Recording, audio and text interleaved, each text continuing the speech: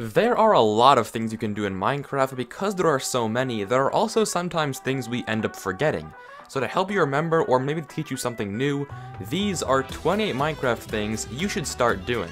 Also, we're super duper close to 500,000 subscribers, so if you could subscribe, it'd help out a ton and mean a lot. Thank you very much, and I hope you enjoy.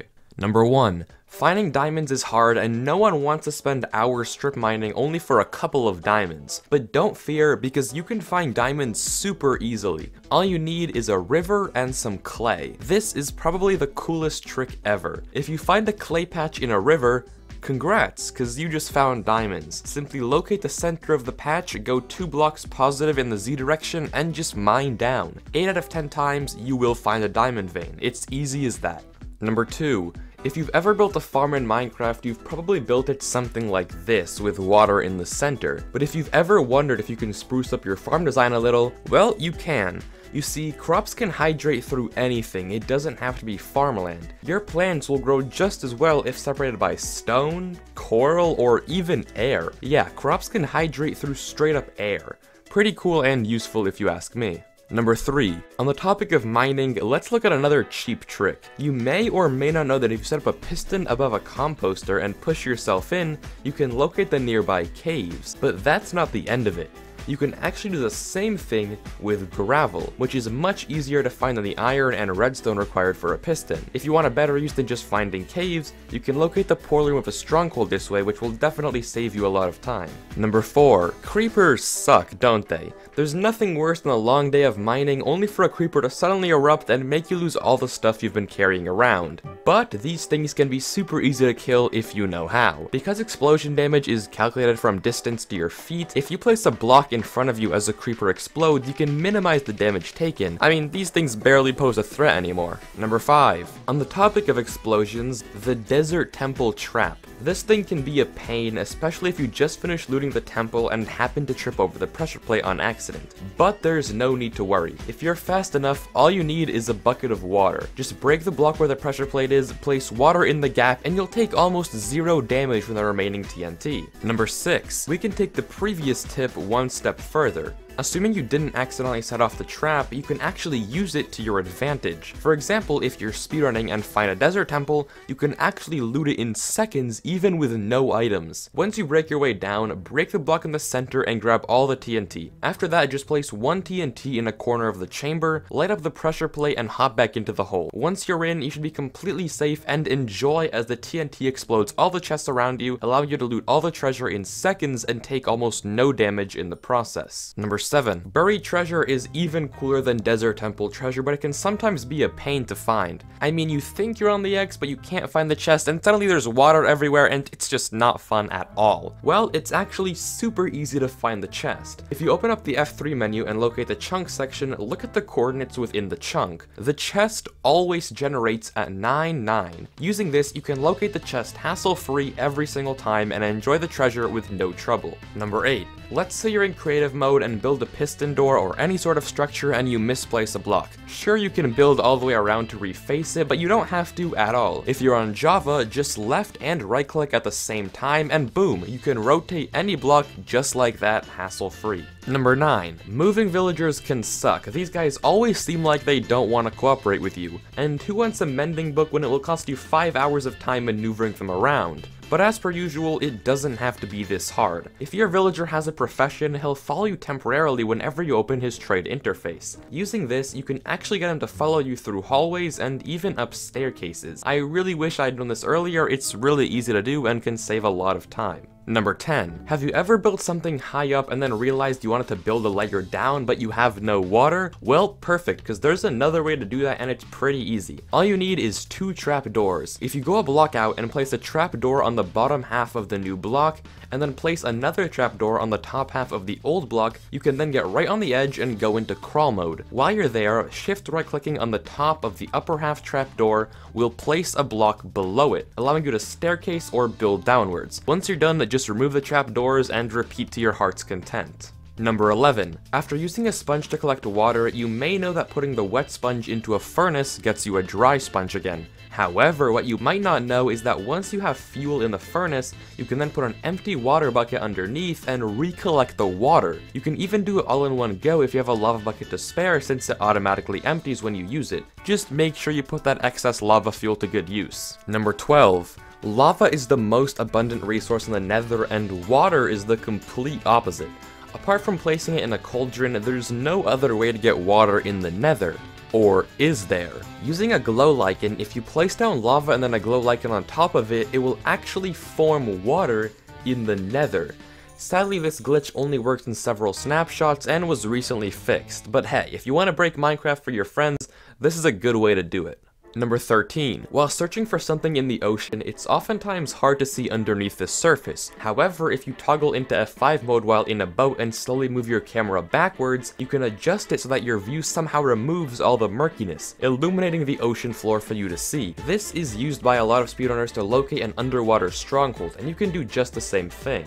Number 14. The same thing works in lava, and not just water. Building in lava can suck, especially if you don't know what's around you, but if you set up a slab on the bottom half of a block over a lava lake and splash yourself with fire resistance, you can pop underneath and see the entire lava floor without any blur or distortion. This is great for mapping out nearby terrain and giving you a good idea of how much space you have for your fiery contraptions. Number 15. Minecarts are a fun way to travel but can end up being pretty expensive when you have have to craft so many powered rails. And what's the point of building a roller coaster for your friends if it leaves you broke afterwards? Well, luckily it doesn't have to. If you place a pig with a saddle in a minecart, it becomes a superior form of transportation. You can control a pig with WASD and they can go as fast as powered rail minecarts, but on regular rails. Not to mention, it can climb up and down slopes with no problem. Plus, it doesn't even need the rails, that's just a bonus to go faster. Now your coasters can be exotic,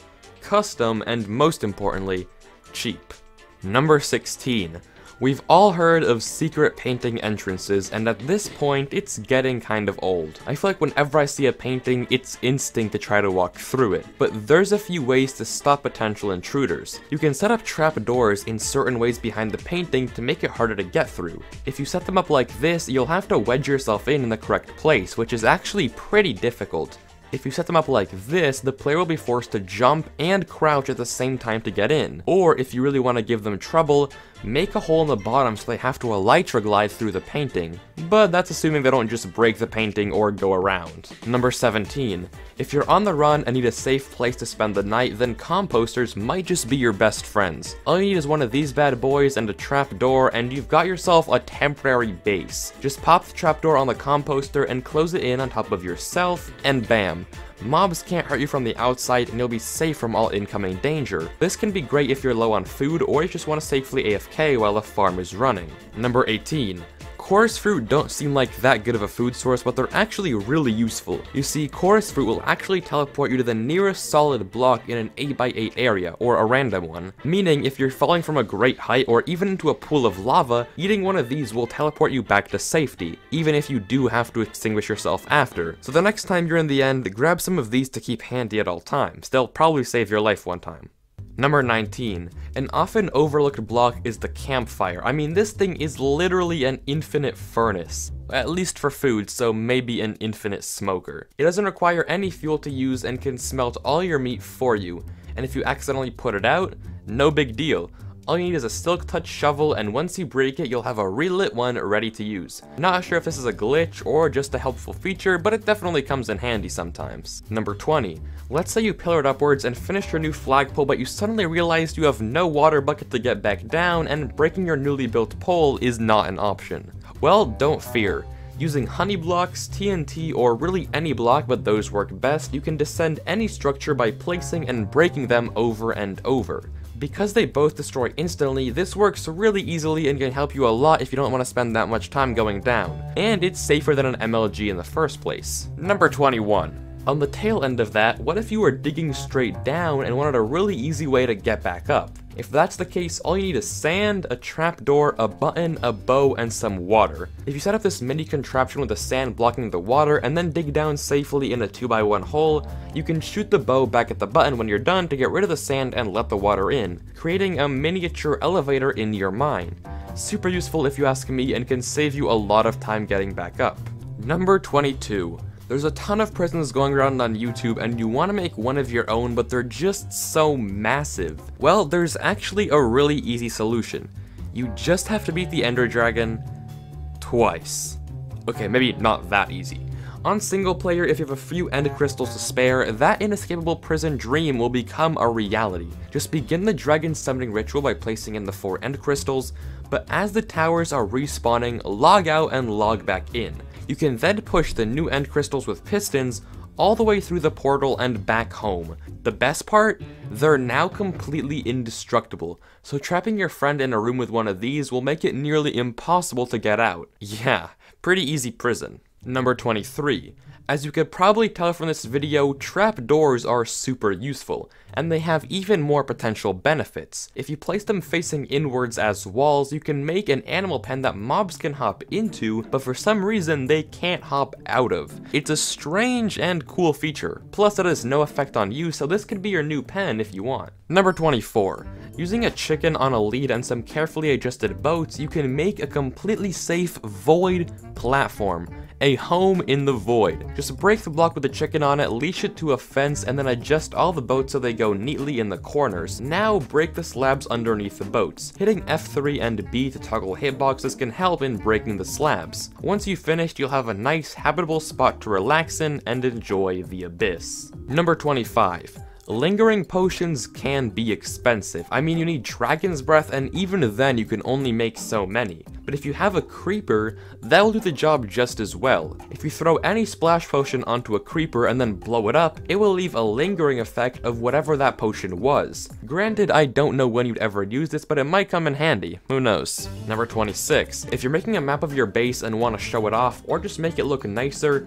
consider this. If you rename a banner in an anvil and then place it down, Right-clicking on the banner with the map will make a visible waypoint with whatever name you chose appear. Now you can label your world to make it easier to navigate or locate things. Number 27. Flexing on your friends is always fun. There's nothing better than knowing you have more diamonds and rubbing it in their face. But it's really hard to find ways to brag when everything you build out of diamonds just looks ugly. However, a really subtle but giant flex is to use jukeboxes as fuel sources. Jukeboxes require a diamond to craft, and you can actually smelt them as fuel in a furnace. So the next time you really want to rub it in how much richer you are, show your friends a super smelter completely powered by these music boxes. They're sure to be amazed and probably hate you afterwards. Number 28. Redstone can be tough sometimes, and going upwards or sideways isn't always the easiest. But it can be with the power of leaves. If you put a log underneath a few leaves, the game will actually update them so they think they become part of a tree.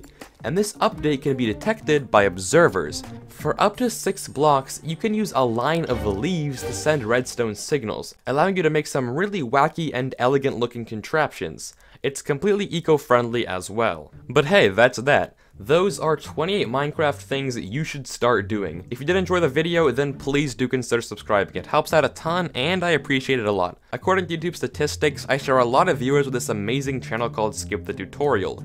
And as you may have noticed, this video is heavily inspired by their format. So if you did enjoy this, then please go subscribe to them also, and let me know if you want to see more similar stuff by leaving a comment with your opinion. If this video does well and it turns out we do share a big audience, then I'll continue doing more, but not that many because I don't want to completely rip them off. But that said, thanks again, I'll see you next time, thanks so much for watching, peace out, and have a good one.